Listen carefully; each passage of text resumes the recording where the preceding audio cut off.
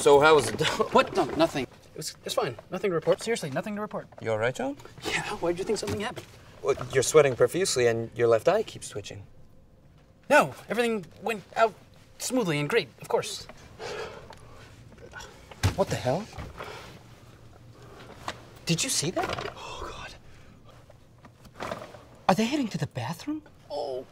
Dude, what the hell kind of dump did you leave them in there? I mean, I've heard of giant dumps before, but it's ridiculous. Who's coming in next? SWAT with gas masks? Listen, okay, this is gonna sound really bad, but, um, I was in there, and then Janice came in, and he was going crazy, and he was beating on the door, and then I think he slipped and fell in the next stall.